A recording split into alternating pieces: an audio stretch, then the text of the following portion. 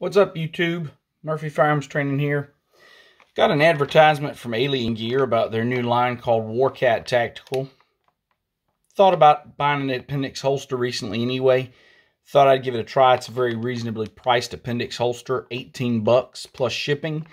Um, anyway, so wanted to unbox this, show you what comes with it, show you what you get, show you the fit and finish. I have the Glock 26. This is my Glock Custom here. Do note that it is unloaded, okay? And take that magazine out. We do have this gun unloaded. We'll go ahead and let the slide down. Got my cool ghost ring sights on there. Set that to the side for now. We'll unbox this Warcat Tactical. Comes in the cool gray bag. Their shipping options are really weird. Um, some some really weird shipping options. But anyway, that was the first thing I noticed. So we unbox this, and it comes, here's the holster. Okay, here's the holster. And it comes with this little bag was stuck in the holster directions, and that's it. Okay, that's that's the bag. So we'll set that bag to the side. The first thing I noticed is I opened the instructions. So it's got a picture of this holster here inside the waistband. That's great and all, whatever. And it shows pictures of a paddle style holster adjusting the paddle. Okay, so it's talking about adjusting the paddle to adjust the ride height. Um, this guy here you can see three sets of holes, one, two, three, to adjust the ride height, not on the paddle, but on the appendix clip. So anyway, um, so this would go into your waistband. This is a right-handed holster, so this would go on the outside. This would go on the inside. This is the sweat guard goes against your body. First thing I want to see is just how the gun fits. So Glock 26, um, definitely fits in there very snugly. Um, the first thing I notice when I insert this gun is there's no audible click or anything. Um, you know, it, it, does go in there, but there's no audible click or anything kind of letting you know that it's in there all the way. Um, but it does go in there nicely. Um, does look like the sweat guard is hitting my ghost ring sight because this sticks up higher than normal. So I may have to trim that down to get it to seat all the way because I think it is coming up just shy of seating at the bottom. It looks like it should bottom out here and it's stopping here. So I think I'm not getting that audible click because of my sight. That's not a knock on their gun or, on their holster, excuse me. That That's on my gun. And if I push this guy a little further, I can see it actually goes a little deeper. So I do think that that ghost ring sight is holding it out. And I may give this a trim. We'll see. But anyway, it fits in there very snugly. I mean, it's definitely made for this gun. The, the slide fits in there like it was made for it, okay? So let's start with what's in the bag. Let's play with this a little bit. The directions do not explain at all, at all, how to attach the claw. And I've been looking for a reasonably priced appendix holster with a claw. So it comes with this pad. It's very thick. I mean, I'll show you how thick it is. Uh, just as a comparison, the Glock 26. I mean, it's almost as thick as the gun. It's got this thick pad. I have no idea what it's for nothing in their directions tell you. It's got this glue dot on the back. You can obviously glue this to something. I don't know if you glue it here. I don't know if you glue it here. I don't know where you glue it. Nothing in their directions tell me that. And then, of course, it comes with a claw and a couple of extra screws. Now, we've got this short screw here, this little short screw here, and this matches the screws on your belt clip. So that's obviously an extra belt clip holster. We've got this rubber thing here, this, this spacer.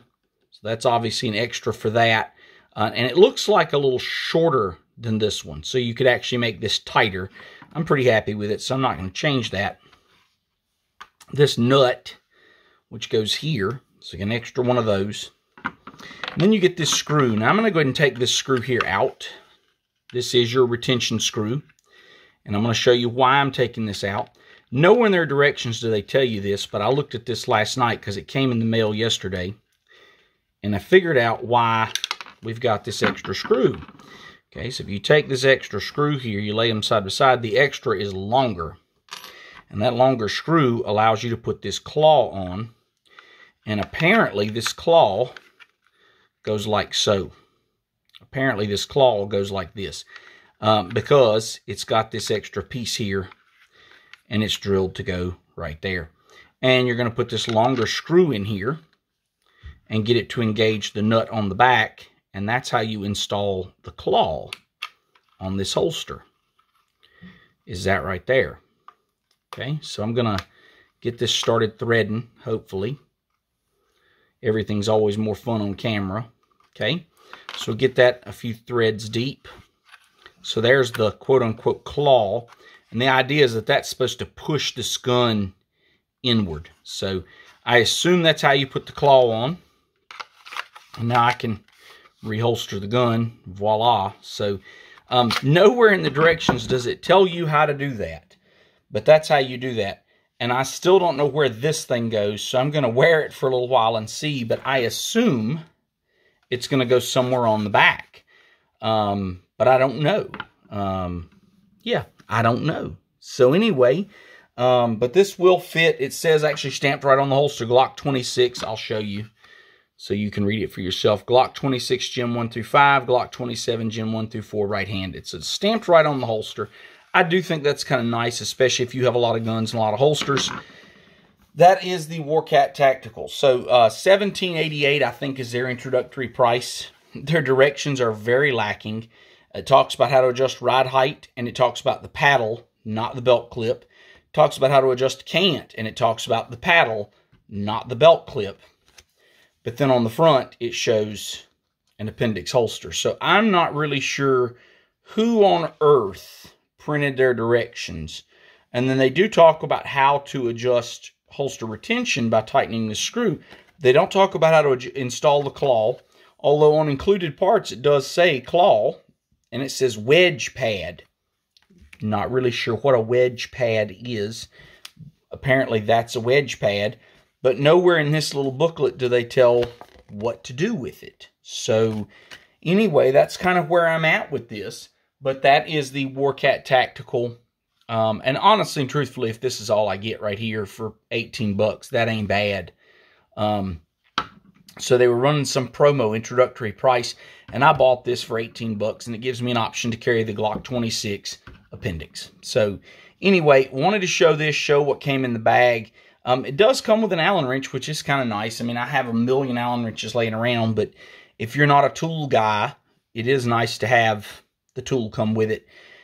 I just hate it because it adds to the cost, and, and I end up paying more for holsters for tools I've already got laying around. So, but anyway, um, so when I figure out what the wedge pad does, I'll make a follow-up video. But uh, I'm going to put this in and carry it around for a little while and see how it does. Um, but, you know, it's nice. It's, it's uh, you know, thin enough that it feels like it's got a little flex to it, which I like. But, but it doesn't feel flimsy.